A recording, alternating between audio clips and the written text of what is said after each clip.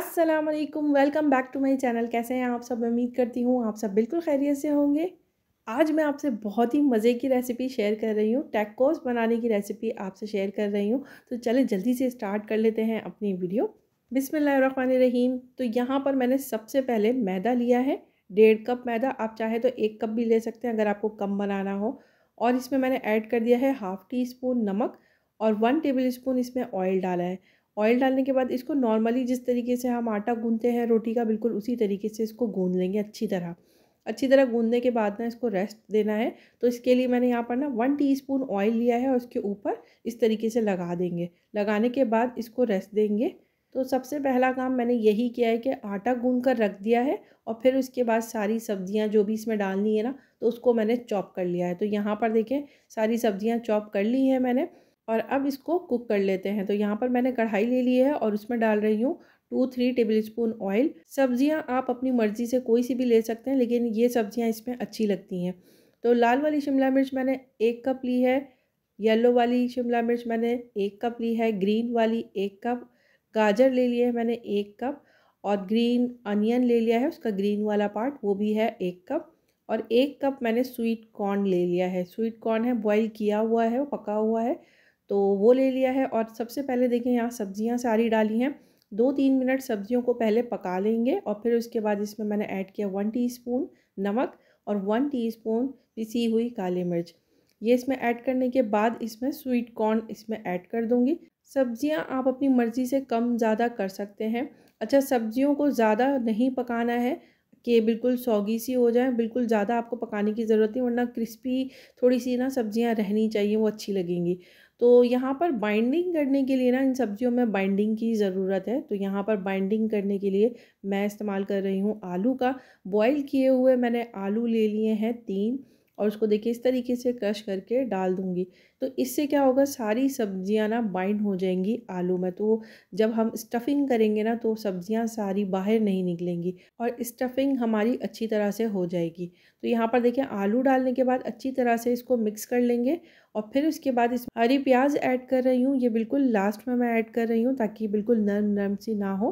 और यहाँ पर मैं रेड चिली फ्लेक्स डालना भूल गई थी, यानी कुटी हुई लाल मिर्च वन टीस्पून मैंने यहाँ पर लास्ट में ही ऐड कर दिया है। बस इसको अच्छी तरह से मिक्स कर लिया है तो स्टफिंग हमारी बिल्कुल रेडी हो चुकी है। जितनी देर में आटे को रेस्ट मिलता है, उतनी देर में ही स्टफिंग रेडी हो जाती है तो बहुत ही झटपट से ये रेसिपी तैयार होती है। तो यहाँ पर देखिए आटे को रेस्ट मिल चुका है। यहाँ पर दो हिस्से कर लेंगे इसके और एक हिस्से से इसको हाथों से इस तरीके से ना रोल कर लेंगे और फिर कट कर लेंगे। इसके छोटे छोटे पेड़े बनाने हैं। जितना बड़ा साइज़ आपको टैकोस का चाहिए, आप उतना बड़ा साइज़ का बना सकते हैं। वैसे नॉर्मली टैकोस का साइज़ ज़्यादा बड़ा नहीं होता है, थोड़ा छोटा ही होता है। तो मैंने सबकी कटिंग कर ली है और एक पेड़ा रेडी कर लिया है। तो बस इसको बेल लेंगे। इसको पतला ही बेलना है। इसको मोटा नहीं रखना है। अगर आप मोटा रखेंगे तो ये हार्ड हो जाएँगे, यानी कड़क कड़क से बनेंगे। तो इसको मोटा नहीं रखना है, बहुत पतला सा ही होता है। और ये देखें इस तरीके से मैंने ये साइज़ के लिए मैंने यहाँ पर एक ढक्कन ले लिया है और पिज़्ज़ा कटर से इसको कट कर लूँगी। आप चाहें तो इससे छोटा भी बना सकते हैं, अगर आपके पास कोई प्याला हो किसी भी तरह का तो आप उससे कट कर सकते हैं अपने हिसाब से।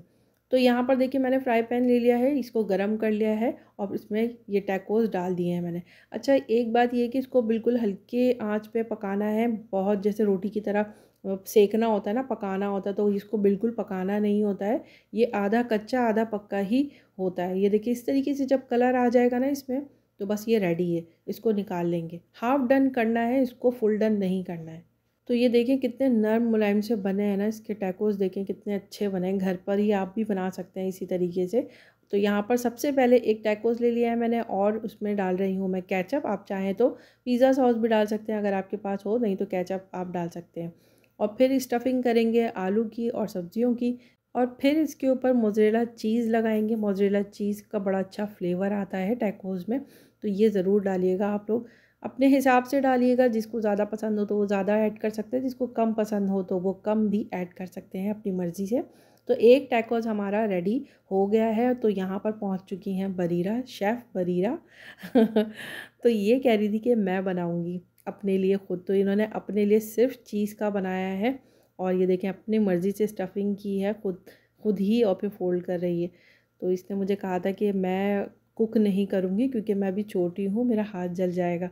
तो मैं आपको उसे फ़ोल्ड करके दूँगी, आप मेरे लिए कुक कर दें। तो यहाँ पर मैंने सारे टैकोज़ रेडी कर लिए हैं और कुछ बरीरा ने भी किए हैं। तो बस इसको आप फ्राई कर लेते हैं। तो यहाँ पर फ्राई पैन ले लिया है और इसमें ऐड किया है मैंने थ्री टेबल स्पून ऑयल ज़्यादा ऑयल की ज़रूरत नहीं होती है इसमें। आप चाहें तो इसमें मक्खन भी डाल सकते हैं। मक्खन का बहुत अच्छा फ्लेवर आता है। तो मक्खन भी इसमें ऐड कर सकते हैं, मक्खन से फ्राई कर सकते हैं। तो यहाँ पर मैंने दो टैकोस डाल दिए हैं। और इसको भी हल्की आँच पर ही हमें पकाना है ताकि ये अच्छा सा क्रिस्पी हो जाए। इसको क्रिस्पी करना है। टैकोस जो होते हैं ना, इसकी जो ऊपर की जो रोटी होती है, वो ना क्रिस्पी होती है। तो इसको हमें क्रिस्पी करना है, इतना फ्राई करना है। और ये बहुत जल्दी ही पक जाते हैं, जल्दी ही क्रिस्पी हो जाते हैं। बस 10 से 12 मिनट लगते हैं इसको फ्राई करने में और ये बहुत ही ज़बरदस्त क्रिस्पी हो जाते हैं। तो ये देखें, बरीरा वाला है ये, जो बरीरा ने बनाया था, चीज़ वाला। और जो हमने बनाया था स्टफिंग की थी पोटैटो और, और वेजिटेबल्स की वो भी बहुत टेस्टी बना है। आप लोग ज़रूर इस रेसिपी को ट्राई कीजिएगा और बच्चों को बनाकर दीजिएगा। टॉर्टिया अगर नहीं है घर पर तो आपको मैंने सिखा दिया है इस तरीके से टॉर्टिया रेडी किया जाता है। इसकी जो रोटी तैयार की गई है इसको टॉर्टिया कहते हैं कुछ लोग टॉर्टीला भी कहते हैं। तो जो भी आप कहते हो, ये रेडी हो चुका है और बहुत टेस्टी बना है। इस रेसिपी को ज़रूर ट्राई कीजिएगा। रेसिपी कैसी लगी वीडियो कैसी लगी, अच्छी लगी हो तो मेरे चैनल को लाइक करें। सब्सक्राइब नहीं किया तो जल्दी से सब्सक्राइब करें। फिर मिलूँगी अपने नेक्स्ट ब्लॉग में इन तब तक अपना और अपनी फैमिली का रखें ढेर सारा ख्याल। असलकुम